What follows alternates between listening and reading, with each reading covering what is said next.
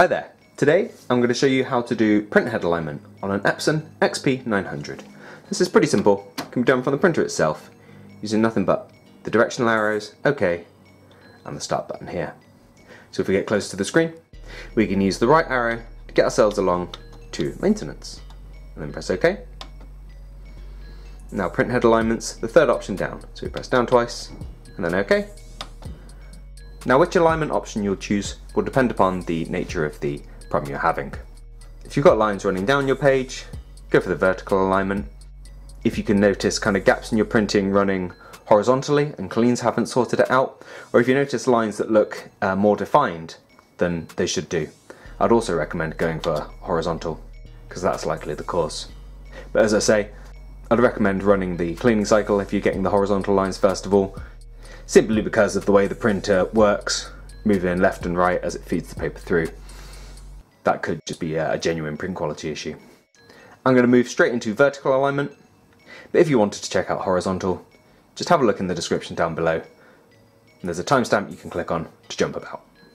So we're going to go into vertical alignment, and press start to go.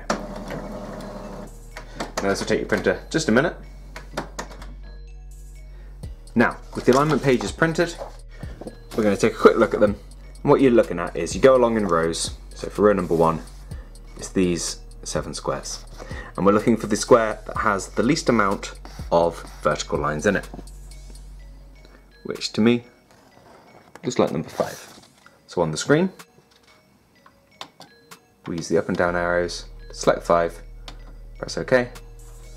Number two, got five again, and we just carry on in this way, selecting the relevant square until you've gone over both pages and then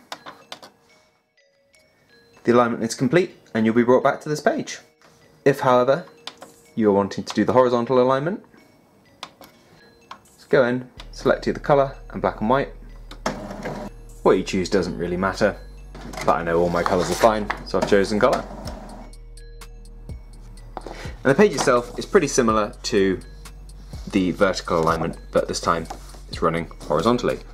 And what we're looking for here is again a lack of lines. If you look at line 1, you can see it's darker in the centre where the two blue boxes have overlapped. And we're looking for the one that has the least overlap but doesn't have gaps like we can see on 6 and 7. The one I'm the most happy with here is 3. So on the screen, use the up and down arrows to select the option that's the best for you. Mine is 3. So press down, then OK. And you're done. It's a lot shorter process than the other one, but just as simple.